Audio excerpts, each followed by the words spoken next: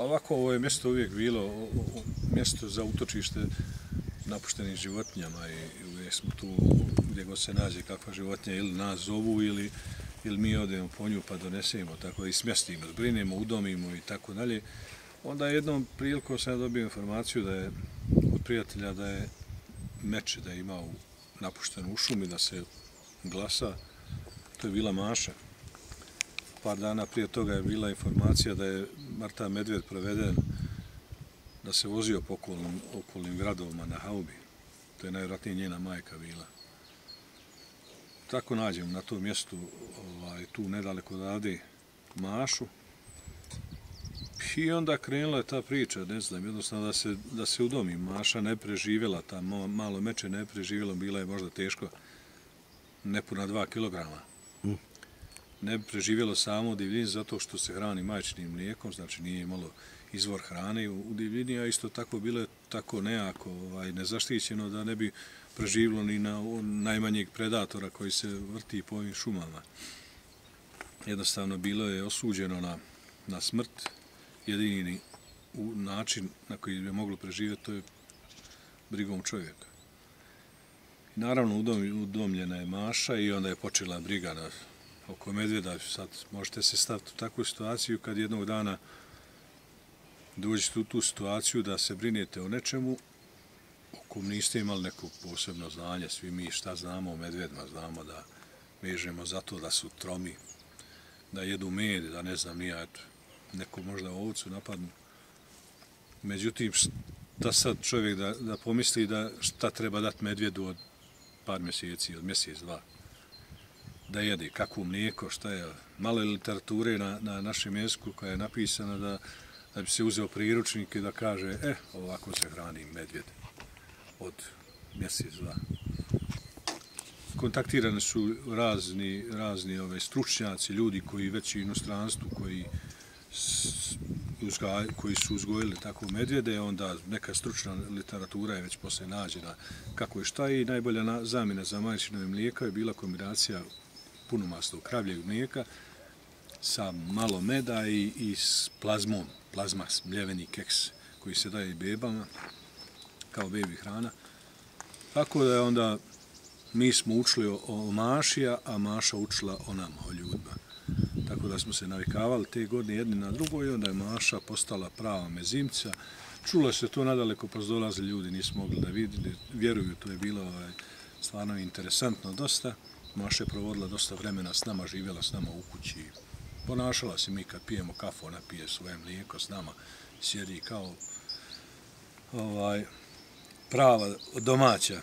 Ovaj, I tako, posle godinu dana, e, ovaj, dobio sam jedan poziv od gospoda Slavena Risća, koji me pozvao, kaže, naš su oni meče kod drvara, meče je nađeno ovaj, pored tijela majke koje je osjećena glava i šapa. Znači, neko je to uzeo kao trofej, nije mogao da odnese. Medvjede su meče najvratnije, nije vidio, najvratnije bi ona završila možda kao trofejčić.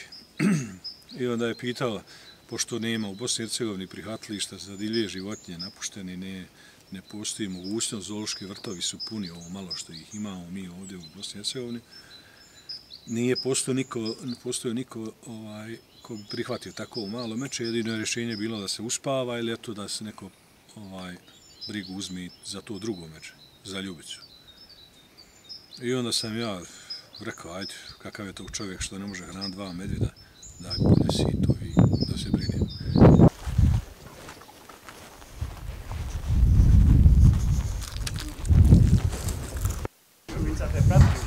Kao će bombona.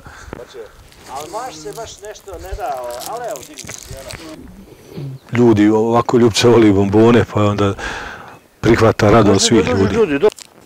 Pa šta mi priča, šta je?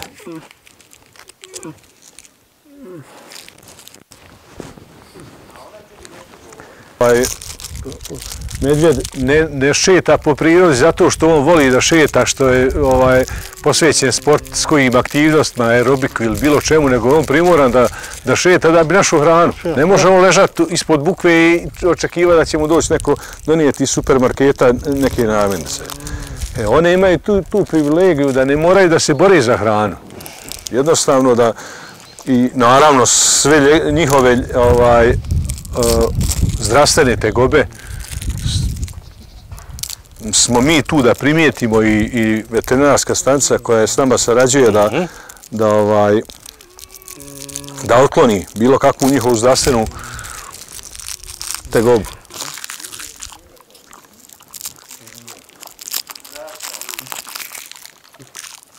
Ona je samo godinu dana mlađa, a, a tu smo one iste, iste, iste, ovaj, e, kako bi rekli, ista rasa. Medvjed jeste, ali e, nije crni, nije grizzly, nije ovo. Pa jes mrki medvjed, ovaj naš mrki medvjed. Evropski mrki medvjed se zavisi od staništa e, gdje se razlika je od ovog nekog gore sa sjevera i od hrani od samog staništa, pa su ovi naši ženke su u divljini oko 120-130 kila, a mužijaci po 250. Da, to su dva različita ovaj, svijeta, dva različita karaktera. Jednostavno, u, uđu posjetioci, ulaze unutra, jednostavno daju im bombone. Ljubica je ona, ono dijete, kao dijete koje želi, koje priđe svakom i gleda od koga će dobiti slatkiš ili neki džeparac i sve. Ljubica je takva, dok je Maša neko koja neće da se druži s nekim koga ona ne zna. Ona jednostavno se udalji i trebalo, treba provesti njom unutra jedno, dva, tri sata da bi ona nekog prihvatila, da ona priđe, da on njuši, da vidi ko si, šta si, odakle si, šta radiš, čiji si. I onda ona, ovaj, onda ona prihvata igra se. Ma, Maša je više mazna nego Ljubica, o, kako ona tu sve kad pokazuje. Ali treba vremena da ona upozna nekog pa vidi. novog i da onda ona s- se druži s njim.